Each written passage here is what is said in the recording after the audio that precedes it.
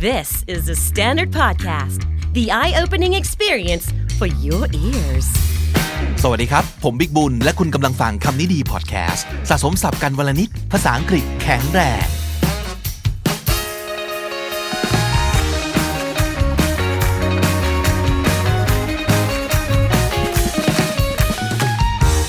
คำนี้ดีวันนี้ไม่ได้มีแต่ภาษาอังกฤษนะครับ แต่ว่าโกยมาให้ฟังกันถึง 10 ภาษาเลยทีเดียว ไม่นับภาษาไทยเนาะ บทความนี้ไปเจอจาก blog.ted.com จาก TED Talk นั่นเองนะครับ 40 brilliant idioms that simply can't be translated literally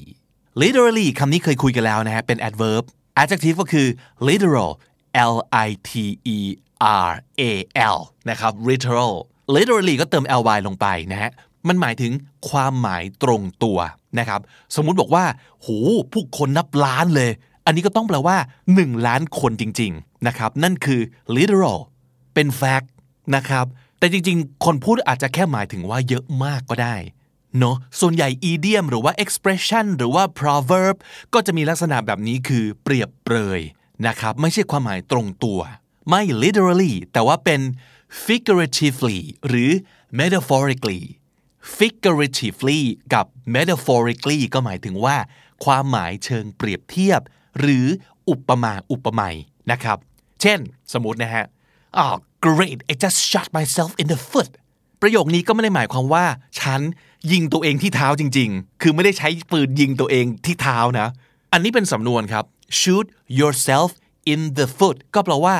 make a situation worse for yourself ก็คือไม่ได้ตั้งใจหรอกแต่ว่า ดันไปทำอะไรสักอย่างที่ทำให้สถานการณ์ของเราเนี่ยแย่ลง มันคือ to say or do something stupid that causes you trouble ก็คือดันไปพูดดันไปทำอะไรสักอย่างที่ทำให้ตัวเองเนี่ยซวยหรือว่าเดือดร้อนนะครับ นั่นคือ shoot yourself in the foot แต่ถามว่า literally ไหม ไม่ literally แต่ว่าเป็น metaphorically เป็น figuratively นะฮะ เรื่องของสำนวนคำพังเพยต่างๆ ก็จะมีลักษณะแบบนี้แหละ อย่างในบทความนี้ก็ยกตัวอย่างภาษาไทยด้วยนะ เออ เช่น เอาหูไปนาเอาตาไปไร่ ถ้าเกิดพูดสำนวนนี้แล้วพยายามแปลให้ฝรั่งฟังเนี่ย ก็อาจจะบอกว่า take ears to the field and take eyes to the farm เอาหูไปนา เอาตาไปไร่นะครับ อันนี้แปลโดย translator คนหนึ่งของเท็ดนะครับ นั่นก็คือคุณเกวลินธนสารสมบัตินะครับ it means don't pay attention คือตั้งใจที่จะไม่ไปสนใจ เพิกเฉยใช่ไหมนั่นคือความหมายที่แท้จริงของสำนวนนี้ หรือว่าไก่เห็นตีนงู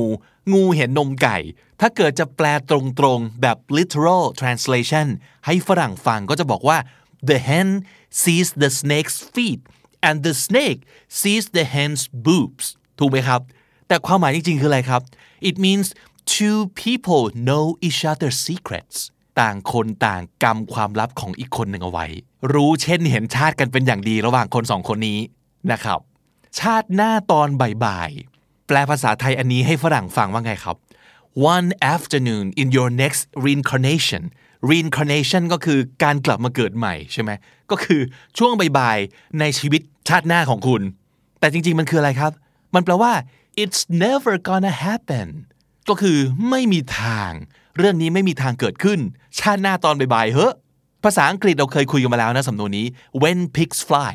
รอให้หมูบินได้ก่อนเถอะ ซึ่งเอาจริง ๆ นะสำนวนเนี้ยมันมีในทุกภาษาเลยนะครับ อย่างในฝรั่งเศสเนี่ยเขาก็จะมีสำนวนของเขาที่แปลเป็นภาษาอังกฤษว่า when hens have teeth รอให้ไก่มีฟันก่อนเถอะ ในรัสเซียก็จะบอกว่า when a lobster whistles on top of a mountain รอให้กุ้งมังกรขึ้นไปผิวปากบนยอดเขาก่อนเถอะ โอ้ยทำไมดูซับซ้อนจังเลยนะครับ ในภาษาดัชก็เหมือนกัน เขาก็จะบอกว่า when the cows are dancing on the ice รอให้วัวไปเต้นรำบนน้ำแข็งก่อนเถอะ ทั้งหมดเนี้ยแปลว่า ชาติหน้าตอนบ่ายๆหรือ it's never gonna happen นั่นเองนะครับ อะ มาดูกันว่าในแต่ละภาษา มีสำนวนอะไรที่น่าสนใจบ้าง และแปลออกมาเป็นภาษาอังกฤษ และภาษาไทยว่ายังไงนะครับ อันแรกจากภาษาเยอรมันครับ Tomaten auf den Augen haben. เนื่องจากไม่มีเพื่อนเป็นชาวเยอรมันนะครับ ก็เลยต้องขอความช่วยเหลือจาก Google Translate นั่นเองนะครับ literal translation ของมันคือ you have tomatoes on your eyes คุณมีมะเขือเทศอยู่ที่ตาของคุณ เดาออกไหมว่าหมายถึงอะไร เขาบอกว่าหมายถึง you're not seeing what everyone else can see ไอสิ่งที่ทุกคนเห็นเนี่ยมีแกคนเดียวที่มองไม่เห็น มีมะเขือเทศบางตาอยู่หรือยังไงนะครับ นั่นคือความหมายของสำนวนนี้ อันต่อมาเป็นภาษาสวีดิชบ้างนะครับสำนวนคือ Det är ingen ko på isen. มันใช่ไหมเนี่ยทำไมมันฟังดูแปลกๆ มีใครรู้ภาษาสวีดิชบ้าง บอกผมมาหน่อยว่า Google Translate อ่านถูกหรือเปล่านะครับ literal translation คือ there's no cow on the ice อัวกับน้ำแข็งมาอีกแล้วนะครับ ไม่มีวัวอยู่บนน้ำแข็งคำนี้หมายถึงอะไรครับ there's no need to worry there's no danger ไม่มีอะไรที่จะต้องกังวล ไม่มีความอันตรายใด ๆ ไม่มีวัวอยู่บนน้ำแข็งนะครับอะสวีดิชอีกอันหนึ่งครับ Det föll mellan stolarna. แปลตรงๆก็คือ it fell between chairs นึกภาพออกไหมมีเก้าอี้อยู่สองตัว แล้วอะไรสักอย่างเนี่ยมันตกลงไประหว่าง ช่องระหว่างเก้าอี้สองตัวเนี้ยเออเขาบอกว่าหมายถึงว่า it's an excuse you use when two people were supposed to do it but nobody did มันเป็นคำแก้ตัวครับ ก็คือเรารู้แหละว่ามันมีบางอย่างซึ่งควรจะต้องถูกจัดการโดยโดยคนสองคนอาจจะเป็นเรากับเพื่อน หรืออะไรอย่างเงี้ยนะ แต่ปรากฏว่าไม่มีใครทำอาจจะเกี่ยงกัน หรืออาจจะไม่ได้คุยกันเพราะนึกว่าแกทำแล้วฉันเลยไม่ได้ทำประมาณนี้ก็คือ เอา้า มันตกลงไปอยู่ระหว่างเก้าอี้ของเราสองตัวสองคนนะฮะ it fell between chairs ซึ่งเขาบอกว่าสำนวนนี้มัน evolve ไปนะฮะคือมันมีวิวัฒนาการ กลายเป็นอีกสำนวนหนึ่งก็คือ it fell between the chair คือมีเก้าอี้ตัวเดียว มีคนคนเดียวซึ่งก็คือตัวเรานี่แหละนะฮะจะใช้พูดเวลาที่ yeah I know I was supposed to do it but I forgot ก็คือเออรู้แหละว่าต้องทำแต่มันลืมว่ะอย่างนี้เนาะเออ คือไม่มีอีกคนให้โบยด้วย แต่ยอมรับว่า เออ รู้แหละว่าเราต้องทำแต่ไม่ได้ทำอะอะมาถึงภาษาลัตเวียนบ้างครับ ลัตเวียนก็มีที่น่าสนใจนะ มีสองอัน อันแรกคือ Postbilites. ไม่ทำไมเสียงมันประหลาดจังเลย เออ แต่ประมาณนี้แหละเนาะ ภาษาอังกฤษเนี่ยมันแปลมาตรงๆว่า to blow little ducks เป่าเป็ดครับ เป่าเป็ดแปลว่า to talk nonsense or to lie ก็คือพูดเพ้อเจ้อหรือแปลว่าโกหกนะ เป่าเป็ดนะครับ อีกอันหนึ่งฮะ A backlot. เออประมาณนี้แหละเนาะ Google Translate เนาะเออแปลเป็นภาษาอังกฤษว่า go pick mushrooms ไปเก็บเห็ดซะไป เมื่อกี้ก็เออ เมื่อกี้ก็เป็ดนี่ก็เห็ดอะไรเนี่ย go pick mushrooms แปลว่าอะไรเดาได้ไหมครับ มันแปลว่า go away leave me alone ไปใส่หัวไป อย่ามายุ่งกับกู นั่นคือไปเก็บเห็ดซะไปนะฮะ เออสำนวนรัดเวียนน่าใช้ อ่าต่อมานะฮะอันนี้เยอะเลยแหละ French ฝรั่งเศสนั้นนะครับก็มีอยู่หลายอันที่น่าสนใจนะ อันแรกครับ Avaler des couleuvres. ก็คือ to swallow grass snakes กลืนงูครับ กลืนงูแปลว่าอะไรครับ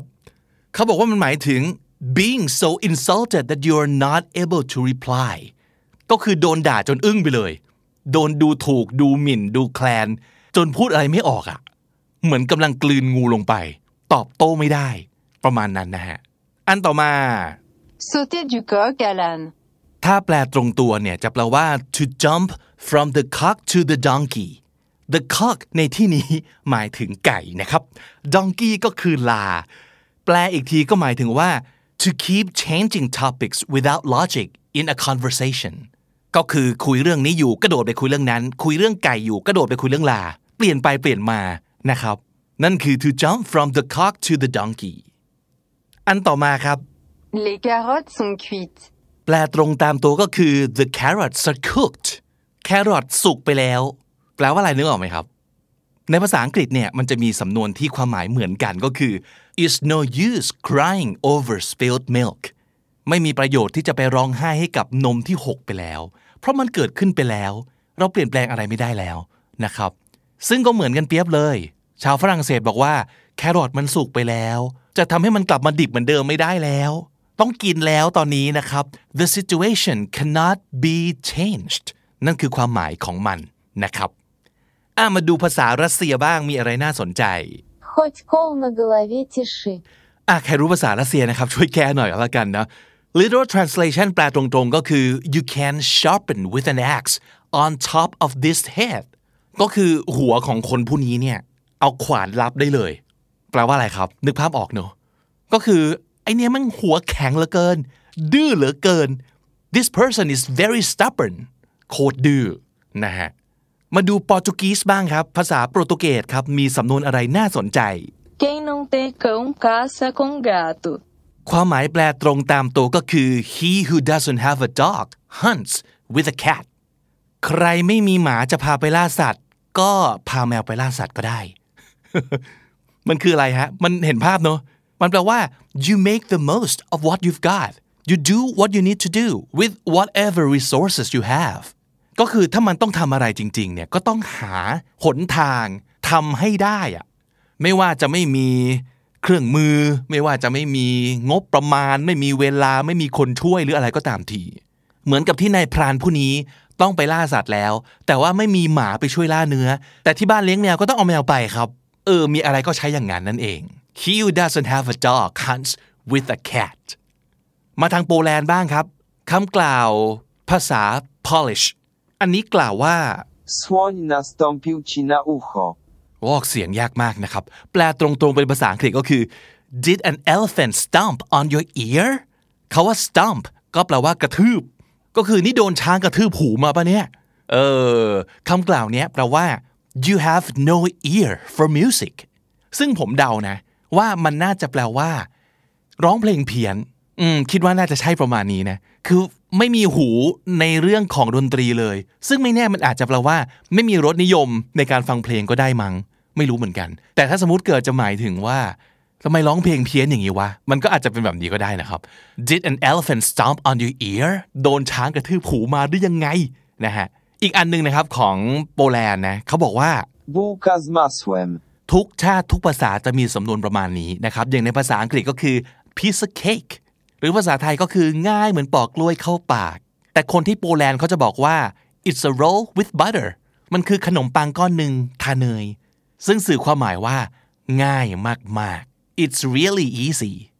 ต่อมาโครเอเชียนครับโครเอเชียนพูดว่า Docie Maxa Navratanca. โอ้อันนี้ Google Translate ต้องปรับปรุงในส่วนของภาษาโครเอเชียนิดนึงนะครับ ฟังดูเหมือนเป็นหุ่นยนต์มากเลยเนาะนั่นแหละฮะ มันแปลเป็นภาษาอังกฤษว่า the pussycat will come to the tiny door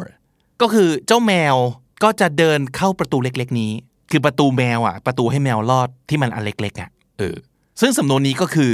what goes around comes around กรรมใดใครก่อกรรมนั้นย่อมคืนสนองทำอะไรเอาไว้ ก็จะได้รับผลตอบแทนอย่างเดียวกัน what goes around comes around คอนเซปต์นี้มีในทุกชาติทุกภาษาเช่นเดียวกันเนาะอืมต่อมาฮะเท็ดทอ k โลเกไม่พอมีภาษาทมินด้วยฮะ โอ้โห มาดูซิว่า Google Translate จะอ่านภาษาทมินว่ายังไงนะครับ Tanir Kartidal. เออ นั่นแหละนะครับ ถูกผิดแล้วก็ไม่รู้เหมือนกันเนาะเราก็ต้องเชื่อ Google Translate นะครับ สำนวนนี้ในภาษาทมินแปลว่า showing water to someone เอาน้ำให้ใครสักคนหนึ่งดู มันแปลว่า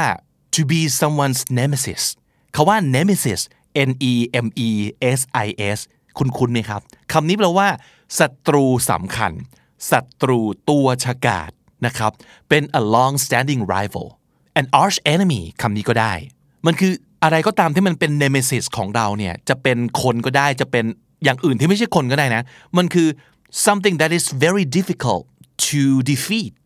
คือคนหรือภารกิจบางอย่างที่มันยากเหลือเกินกับการเอาชนะ นั่นคือ nemesis นะฮะเมื่อกี้พูดถึงคำว่า arch enemy คำนี้ก็ดีนะ enemy เฉยๆเนี่ยแปลว่าศัตรูใช่ไหม arch enemy มี a r c h นำหน้ามาเขียนติดกันนะครับ arch enemy แปลว่า a supreme enemy มันคือศัตรูคู่ปรับตัวร้ายตัวพ่อตัวแม่เลยนะครับ มันอาจจะไม่ดุไม่โหดเท่า nemesis นะ แต่ว่า arch enemy เนี่ยเป็นศัตรูที่เรียกว่าเป็นไม้เบื่อไม้เมาครับ and it's almost always personal with history ก็คือมีเรื่องราวความขัดแย้งแต่ปูมหลังกันมาดราม่าเข้มข้นนะครับ นั่นคือคนที่เรียกว่า arch enemy สำนวนนี้ showing water to someone ในภาษาทมินก็แปลว่า เป็นศัตรูตัวร้ายของใครสักคนหนึ่งนะฮะ สุดท้ายแล้วกันนะครับ ภาษา Dutch สำนวนนี้คือ Iets voor een appel en een ei kopen. ซึ่งแปลตรงๆก็จะหมายถึงว่า buying something for an apple and an egg ซื้ออะไรสักอย่างด้วยแอปเปิลหนึ่งลูก และไข่หนึ่งฟอง แปลว่าอะไรครับ it means you bought it very cheap at a very good bargain ก็คือราคาถูกมากๆนะครับ สามารถซื้อได้ด้วยแอปเปิลหนึ่งลูก และไข่หนึ่งฟอง แลกกันไปเลย ถูกขนาดนั้น และนั่นคือสำนวนน่าสนใจในภาษาดัชครับ สนุกดีนะ มันจะมีอีกหลายชาติหลายสำนวนเลยที่ไม่ได้คัดมา อย่างภาษาเกาหลีก็มีครับ ภาษาญี่ปุ่นก็มี แต่ด้วยความที่ผมเคยเอาอ่าศัพท์สำนวนสุภาษิตญี่ปุ่นมาพูดแล้วนะ ก็เลยก็เลย skip ไปนะครับ แต่ถ้าเกิดอยากอ่านฉบับเต็มนะ ลองเอา ชื่อบทความไป search ดูได้นะครับ อยู่ใน blog.ted.com นะครับ มันคือ 40 40 นะครับ brilliant idioms that simply can't be translated literally 40 สำนวนที่ไม่สามารถแปลตรงๆได้ จากอาสาสมัครนักแปลทั่วโลกของ TED Talk ครับ สรุปศัพท์ของวันนี้นะครับ 6คำและ 6 สำนวนนี้น่าสนใจมากๆ figuratively กับอีกคำหนึ่งคือ metaphorically มาจาก adjective คือ figurative กับ metaphorical ซึ่งก็แปลว่า เป็นการเปรียบเทียบ เปรียบเปรย หรือว่าเป็นการพูดถึงแบบความหมายโดยใน หรือว่าโดยอ้อม ไม่ได้แปลตรงตัวนะครับ figuratively metaphorically อันต่อมาสำนวนนี้ก็ดีนะครับ shoot yourself in the foot คือทำปืนลั่นยิงโดนเท้าตัวเองอะ่ะ มันก็คือโดยไม่ได้ตั้งใจนะ แต่เผลอพูดหรือว่าทำอะไรก็ตาม แล้วคนที่ซวยก็คือตัวเราเองนะครับ shoot yourself in the foot what goes around comes around อันนี้เอาไว้พูดเวลาแบบนั่นไง กรรมมันตามสนองใช่ไหมล่ะทำอะไรไว้ก็ต้องได้รับผลตอบแทนแบบนี้แหละ what goes around comes around nemesis คำนี้แปลว่าศัตรูตัวสำคัญศัตรูตัวฉกาจ nemesis และสุดท้ายนะครับ arch enemy มันคือคู่ปรับตัวร้ายไม้เบื่อไม้เมา arch enemy และถ้าติดตามฟังคำนี้ดีพอดแคสต์มาตั้งแต่ episode แรก มาถึงวันนี้คุณจะได้สะสมศัพท์ไปแล้วทั้งหมดรวม 2,139 คำและสำนวนครับ และนั่นก็คือคำนี้ดีประจำวันนี้นะครับ episode ใหม่ของเราจะ publish ทุกวันจันทร์ถึงศุกร์ที่ thestandard.co ทุกแอปที่คุณใช้ฟังพอดแคสต์ YouTube Spotify และ j o o x นะครับ ผมบิ๊กบุญครับ วันนี้ไปแล้ว อย่าลืมเข้ามาสะสมศัพท์กันทุกวันวันละนิด ภาษาอังกฤษจะได้แข็งแรง สวัสดีครับ The Standard Podcast, eye opening for your ears.